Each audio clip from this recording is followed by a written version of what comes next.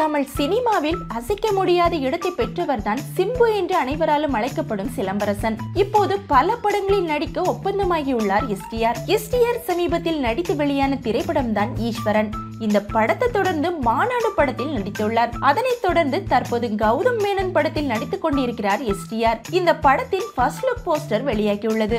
இந்த படத்திற்கு முதலில் நதிகளிலே நீராடும் சூரியன் என பேரினை சூடியிருந்தனர் படக்குழுவினர். பின்னர் இந்த படத்தின் பெயர் வெந்து தணிந்தது காடு என பெயர் சூட்டப்பட்டுள்ளது. பொதுவாக கௌதம் மேனன் படம் என்றாலே அதில் அதிகமான இங்கிலீஷ் வார்த்தைகள் கலந்திருக்கும். ஆனால் படங்களின் டைட்டில் தூய தமிழில் தான் இருக்கும். இந்த படத்தின் போஸ்டரில் சிம்புவை பார்க்க ரொம்பவும் சின்ன பையனா அழுக்கு சட்ட லுங்கியுடன் காட்சியளிக்கிறார். இந்த போஸ்டர் ரசிகர்கள் மத்தியில் பெரிய அளவுக்கு வரவேற்பு பெற்றுள்ளது.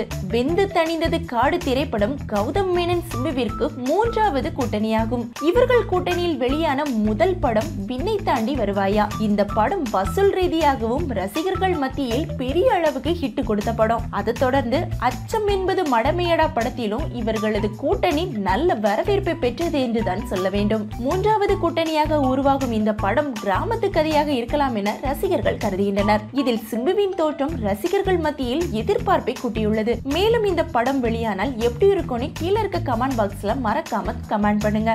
இது மாதிரியான சுவாரஸ்யமான தகவல்களை தெரிஞ்சுக்க எங்க ட்ரெண்டி டாக்ஸ் சேனலை சப்ஸ்கிரைப் பண்ணுங்க. ஷேர் பண்ணுங்க. இந்த வீடியோ பிடிச்சிருந்தா லைக் பண்ணுங்க கமெண்ட் பண்ணுங்க. எங்க வீடியோ உடனுக்குடன் தெரிஞ்சுக்க பக்கத்துல இருக்க பெல் ஐக்கான மறக்காம பிரஸ் பண்ணுங்க.